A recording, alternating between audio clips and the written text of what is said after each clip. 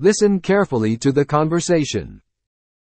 다음 올림픽에서는 종목이 또 바뀐다고 하던데요. 원래 올림픽 종목은 인기에 따라 퇴출되기도 하고 신설되기도 하는데요. 도쿄 올림픽부터 개최국이 새 종목을 제한할 수 있다는 규칙이 적용되어 다섯 종목이 추가되었습니다.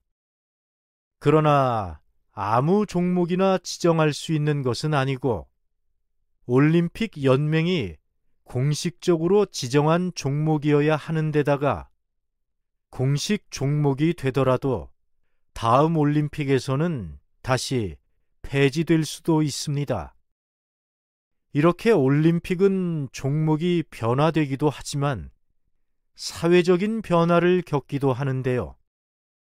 도쿄 올림픽에서는 혼성 경기를 도입해 여성 선수의 참가를 늘리기도 했습니다. 이후 올림픽에서는 이러한 긍정적인 변화가 좀 더 이어지기를 바라봅니다.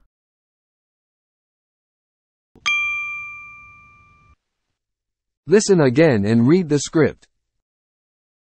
다음 올림픽에서는 종목이 또 바뀐다고 하던데요. 원래 올림픽 종목은 인기에 따라 퇴출되기도 하고 신설되기도 하는데요. 도쿄 올림픽부터 개최국이 새 종목을 제한할 수 있다는 규칙이 적용되어 다섯 종목이 추가되었습니다.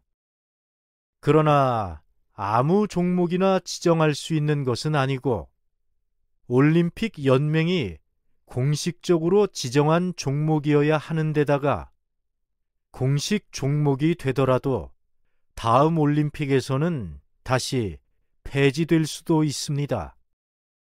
이렇게 올림픽은 종목이 변화되기도 하지만 사회적인 변화를 겪기도 하는데요.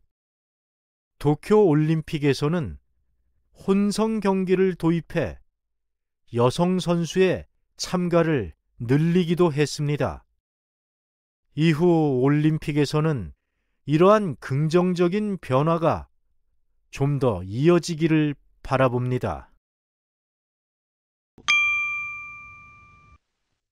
Listen again without the script and guess the answer. 다음 올림픽에서는 종목이 또 바뀐다고 하던데요. 원래 올림픽 종목은 인기에 따라 퇴출되기도 하고 신설되기도 하는데요.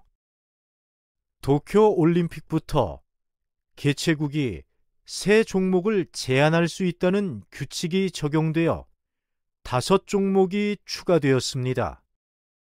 그러나 아무 종목이나 지정할 수 있는 것은 아니고 올림픽 연맹이 공식적으로 지정한 종목이어야 하는 데다가 공식 종목이 되더라도 다음 올림픽에서는 다시 폐지될 수도 있습니다. 이렇게 올림픽은 종목이 변화되기도 하지만 사회적인 변화를 겪기도 하는데요. 도쿄 올림픽에서는 혼성 경기를 도입해 여성 선수의 참가를 늘리기도 했습니다. 이후 올림픽에서는 이러한 긍정적인 변화가 좀 더 이어지기를 바라봅니다.